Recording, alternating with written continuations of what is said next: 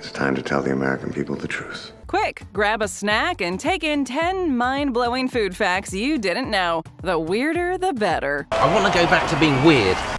Hot chocolate is really old. Here's your hot chocolate. This thick and creamy treat can make some of the best parts of your childhood come flooding right back. The mental picture that comes to mind might be the hot chocolate you grab at the drive through window on a blustery winter day. Or it could simply be the unmistakable, festively wrapped tin canister prominently displayed in your kitchen or pantry. If you haven't given hot chocolate much thought, that's about to change because as it turns out, hot chocolate is well, old. Like, extremely old. So old, in fact, that the first documented consumption of the beverage dates to the Mayan people over 2,500 years ago. The original recipe wasn't exactly decadent, though. Hot chocolate. Mm-hmm.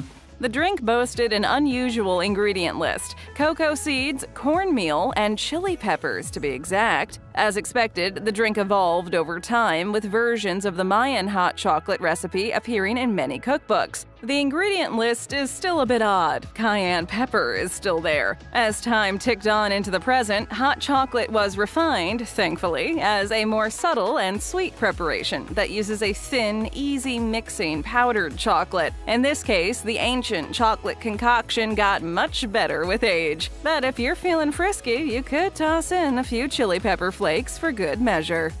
The exploding peanut. I mean, like, explosive.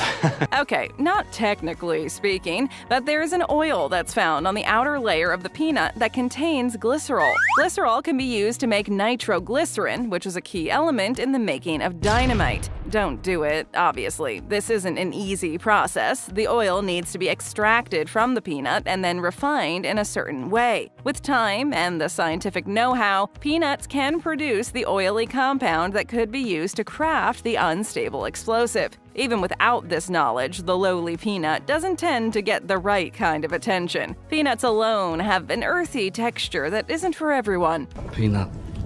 They're tough, messy, and difficult to crack into. You've likely been to at least one restaurant that proudly displays the basket of peanuts on the bar with the peanutty sawdust floating around as you wait for your table. Add this to the knowledge of peanuts being a severe allergen that is banned in almost every school, and they can seem to be more trouble than they're worth. It also bears mentioning again that trying to extract the oil from a peanut to blow things up should not be attempted. Like they say on TV, don't try this at home. Kit Kat bars. We are off to the Kit Kat Club. Come on, join us. This interesting little factoid is sure to impress your friends during your next trivia night. Kit Kat bars are a staple in the Halloween basket of most kids around the globe. Over the years, we've seen the popular candy bar morph into ice cream and yogurt, and the flavors have become more exotic, too. Variety is, after all, the spice of life, and for Kit Kat, it's no different. You can now find a plethora of new flavors green tea, strawberry, tiramisu, dark chocolate, and raspberry flavor Kit Kat bars are popping up on store shelves, and people are snapping them up more than ever. Reports have surfaced saying that 650 Kit Kat bars are consumed every second of every day around the globe. But there's more than meets the eye with one of America's favorite treats. All right, then, keep your secrets. That delectable filling that Kit Kat is well known for is far less innovative than you may have thought. Kit Kat bars contain a filling that is made of other mashed and smashed Kit Kat bars. Perhaps it's an effort to stay true to the brand, or maybe it's considered recycling. Regardless of the thought behind it, a giant pile of Kit Kat rejects gets squashed, mashed, and creamed before being stuck in between the wafers of the newly produced Kit Kats. This process creates what Kit Kat spokespeople call the choco layer. Whether you find the idea clever or lazy, you will certainly be looking more closely at the insides of the Kit Kat bar following your next purchase. Fruit salad trees. Making some fruit salad? Now, this idea is revolutionary. Mother Nature really plays a key role here. While there's nothing better than a family trip to the local farm and picking your own apples, it's not everywhere you'll come across this variation on the plain old seasonal fruit tree. Through a process of grafting, more than one breed of fruit can be added into a pre existing breed. This cultivation is called selective breeding. Many of the same steps need to be followed in order to start the growth process. The proper soil, climate, and temperature stability are still a must, but the grafting process with time can give you the playfully coined fruit salad tree. It isn't an anything goes kind of situation, though, nor is the fruit salad tree a futuristic kind of frankenfruit. It's alive! The idea is based firmly in science. Certain fruits need to be grafted and grown together, or the idea won't work. For example, plums, peaches, apricots, and nectarines, also known as stone fruits, need to be grown together. The same goes for citrus fruits like mandarins, oranges, lemons, and limes. So if you're considering putting, say, oranges with pears or apples with plums, nothing will happen. You'll also need to find a planting area that has full sun and shelter from the wind. Patience is key, too. The fruit salad trees take their precious time to grow, and you won't see fruit for up to 18 months after planting. Is it worth all the extra time and trouble? You will need to be the judge of that. Spam. How about little um spam brulee? Spam was born and introduced to the world in 1937 and has remained a ready made, weird, floppy food icon which gained popularity during World War II. Some people swear by it, with liberal use of the mystery meat on their weekly menu. Some are not as easily sold on the idea of spam. It's in the same sort of food category as hot dogs or bologna, if that's your thing. Hey, maybe you just need to try it to get a first hand account of its cult like status. After all, it comes in an easy to open can, it doesn't require any special preparation or refrigeration, and did we mention it comes in a can? It can be found in an abundance of flavors to suit any palate, but at its core, Spam is just spiced ham. Oh boy, spices. The part that really stands out is the fame Spam receives from one specific area of the world, Hawaii. Hawaii goes completely bonkers for the stuff, and they consume over 7 million cans of Spam every year. Spam now comes in several new flavors, from teriyaki to cheese, and even hot pepper flavors.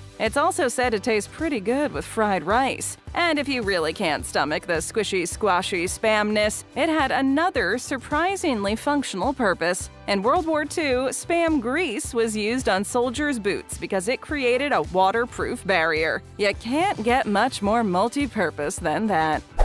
Boozy pineapple. Knock, knock. Who's there? Pineapple. Pineapple who?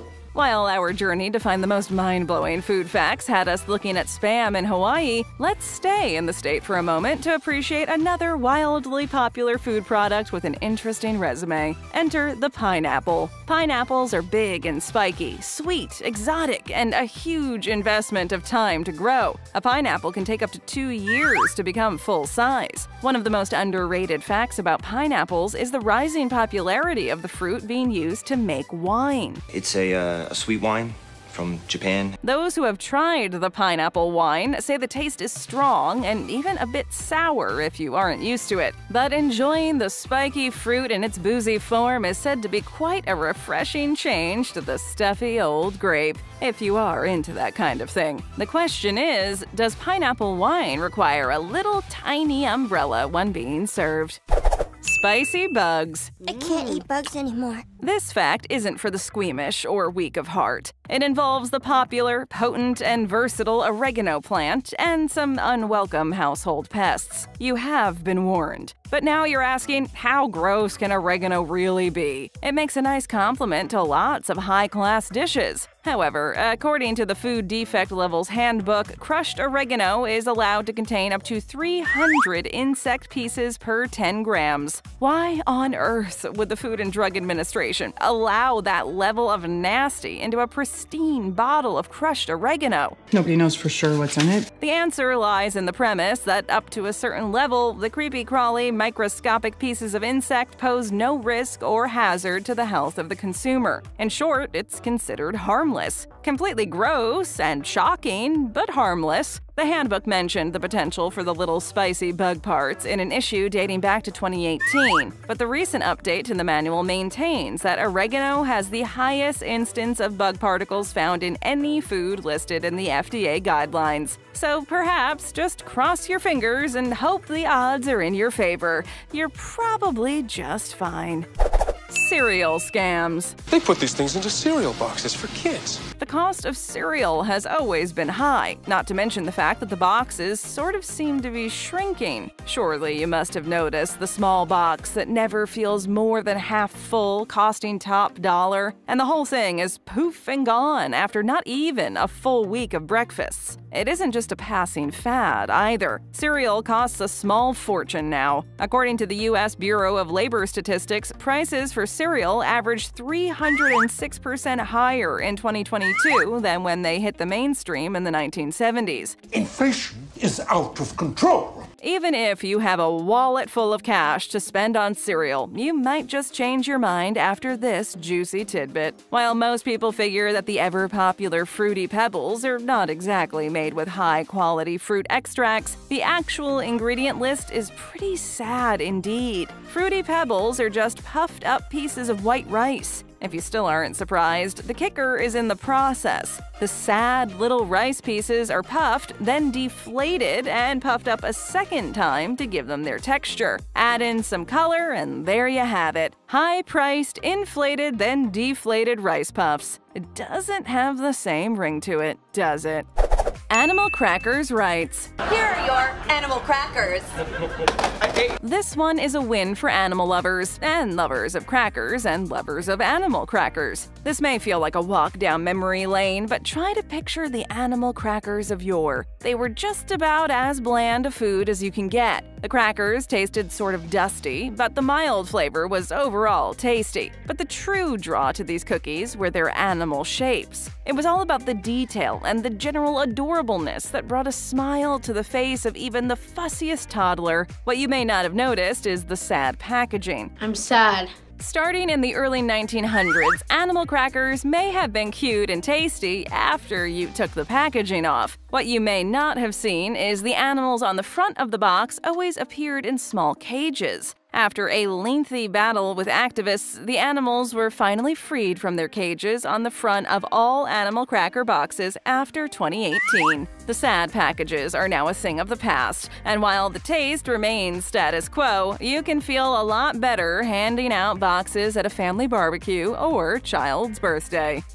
Space grub. Just, uh, grabbing myself some grub. Food in space? Well, obviously, astronauts need to eat too. And as it turns out, the food isn't as bad as it seems in the movies. There might be a good selection of freeze dried or dehydrated space food, but you might be shocked to learn that the first food eaten in space was none other than applesauce. Turns out it packages and keeps shockingly well, so it can be enjoyed and appreciated as a comfort food in the most unlikely of circumstances. Another bonus space food fact Yes, please. The humble potato was the first food planted and grown in space. Back in 1995, five space spuds were successfully grown while in orbit in the Astroculture plant growth facility on the International Space Station. The basic potato may be missing the wide variety of tasty toppings you can get on land, but add that to the applesauce and you have a pretty decent space picnic.